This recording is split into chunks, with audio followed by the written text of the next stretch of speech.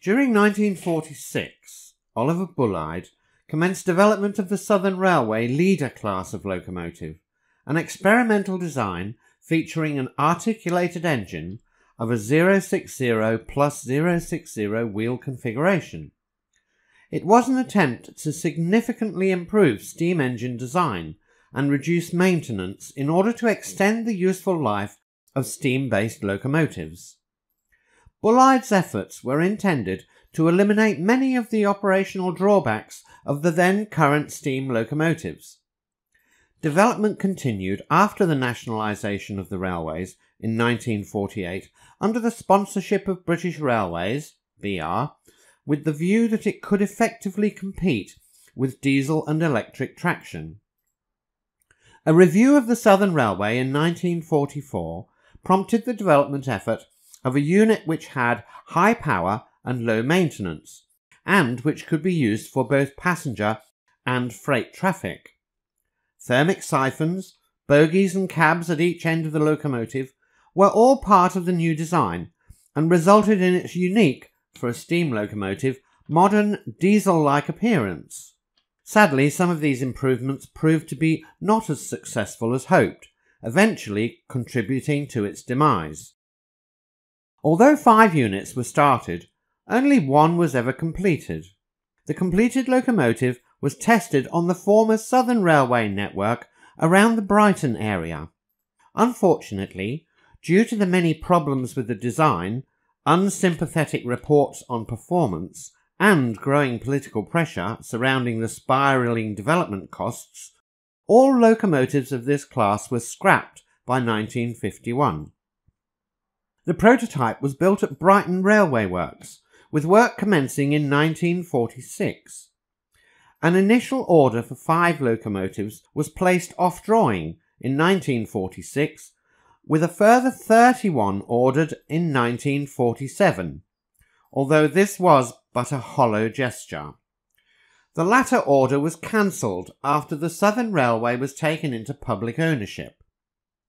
Each of the two bogies had three cylinders, with the driving wheels connected by chains. The valve gear used the sleeve valve arrangement, which was the first steam locomotive of this type of valve since Paget's failed locomotive of 1908.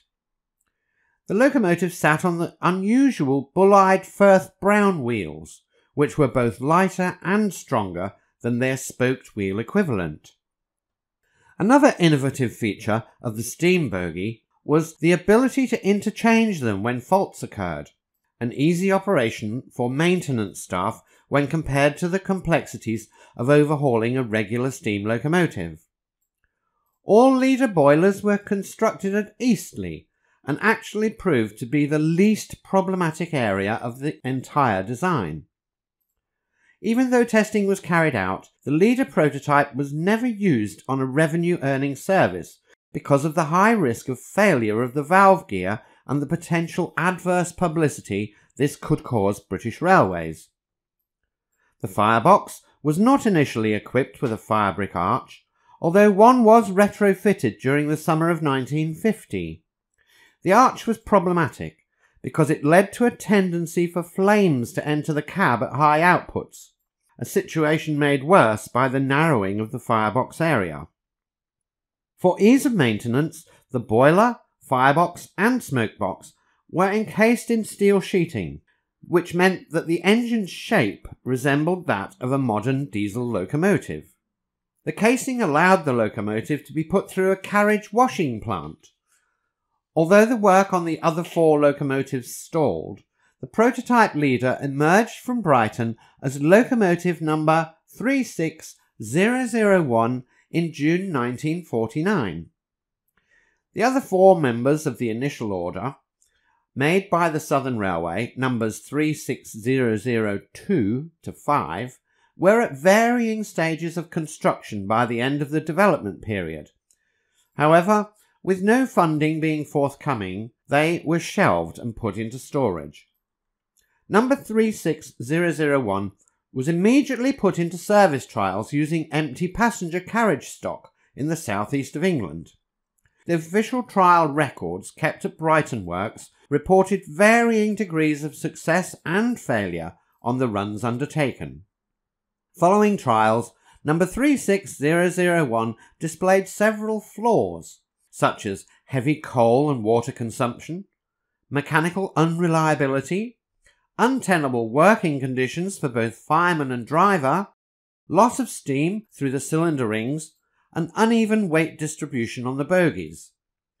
The leader was a bold attempt at pushing back the boundaries of contemporary steam locomotive design and, if successful, would have prolonged the life of steam on British railways. Sadly, this was not the case. We hope you've enjoyed this interesting little video on 36001 and its demise. Please like, share and subscribe for many more videos about interesting trains.